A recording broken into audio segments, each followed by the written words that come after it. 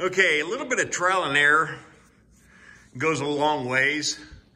So I'm gonna try to do this in two or three parts, but I wanna explain to you guys how, because there's, the videos suck, how this Ixcoy weight and balance machine works.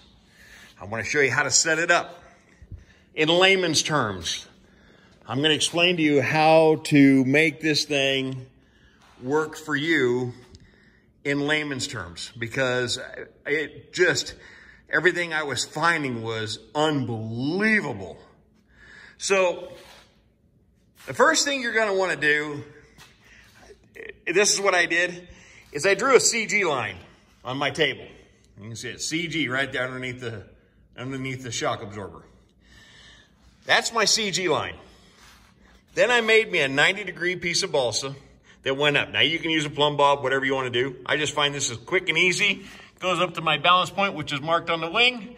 And if you look sideways, it's pretty well lined up with that pin line. So that is basically four and a quarter inches back, 27% of the wing chord.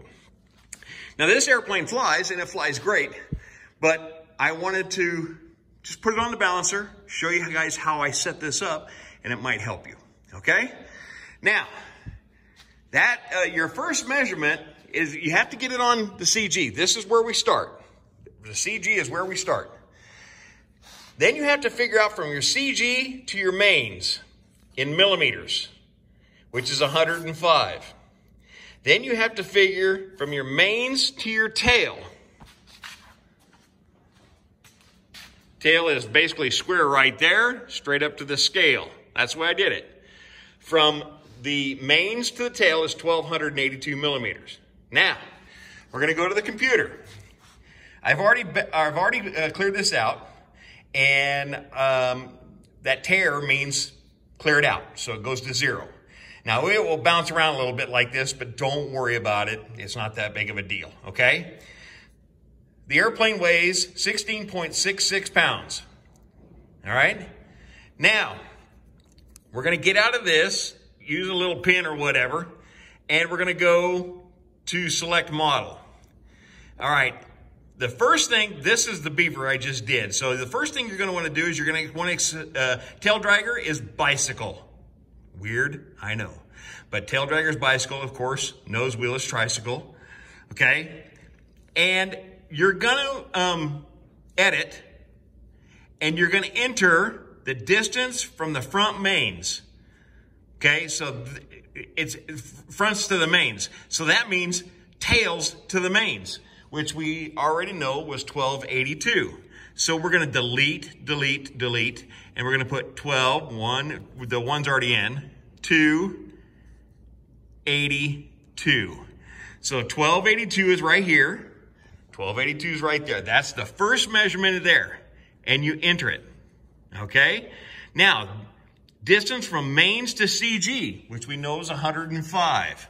So we're going to edit and we're going to delete that number and we're going to put in 105. Enter.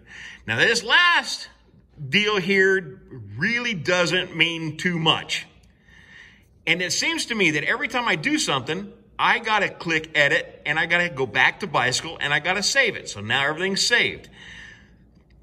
If I really wanted to get technical, I could put, let's just go edit and I'll, I'll add 30 to that. So let's go 135 because that means I'd have to add some nose weight. So delete 135 five, which means it's only it's, from here to here, it's 105. So probably right about there is where I'm going to put the, the, the nose weight if I need any kind of weight on this at all. Okay. Then I'm going to hit enter. Now all my numbers are in it. Everything's good. 1282 is the distance from the tail wheel to the mains. 105 is from the mains to the CG. 135 is where I'm going to put the weight. And hit bicycle again save it, X out of that, and hit CG. Now, it shows that I'm nose heavy. This airplane flies absolutely fantastic. It's it shows nose heavy, but there's no arrows. Now, if you were tail heavy, you would see a red arrow gaining on the tail. I am pushing on the tail with my finger. And it says that you need to add eight pounds in order to correct that. But if you let it go, the arrow gets smaller. And that means that you're in balance. Okay? It is really a great machine. But the instructions online suck. So I hope this helped. Um, you can also do floats with this. And it's just a little bit more involved setup. I'll be more than happy to explain how I did that. I cut me some rubber pads. So the rubber pads go underneath on top of this, the scale. Let me see if I can just lift this up in front of you.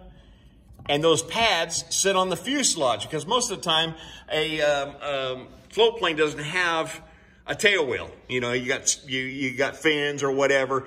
Some some have like you know that beaver doesn't have a tail wheel, that beaver doesn't have a tail wheel. So I needed something that would sit right underneath there. So that was the reason why I put these pads here. Now the same, the pads up front, because you put them on front and now the float can sit on that pad. It doesn't have to have a, an indent. And if you did that, your float would only ride on that side and this side, the rest of it would be open and it would start cutting your floats. So cut a piece of rubber and use these wire, these discs for that there. Now, put these on when you're getting ready to do a float plane and hit tar on that machine. That will, that will zero everything out, including with this. Folks, I really hope that helped you understand how this thing works because the instructions basically suck. And so I wanted to let you know what I thought of it, but I love this machine. It is worth every penny. I balance my airplane that fast. If, if I come up and my airplane is nose heavy, let's say we set the tape measure up here. I'm gonna set that right there. And that's because you put all the batteries in front and everything's all loaded up and you throw it on the balancer and it shows it's nose heavy. You gotta remove 1.18 pounds at the correction point which means it's right on the front. Is that not slick or what? I sure hope that helped you guys. If For the guys who have this machine and are not really sure what's going on, this is about the sixth time I've used this and I absolutely love it. You remove the nose weight, you come back over. If it was a battery, and you move the battery further back a little bit, come back and check, all right, I'm good. Because it'll hold that as long as you're dancing around. I'm putting tail weight on. I, um, now it's removing it. I just, this thing really works good. I hope that helped you. And I hope that this video explains this just a little bit better than what you can find online. From a redneck, from Rod at the shop of uh, mini aircraft. I hope that helped you. And if you don't have one of these, I am not an endorser of any products. I don't get sponsored. I don't do anything.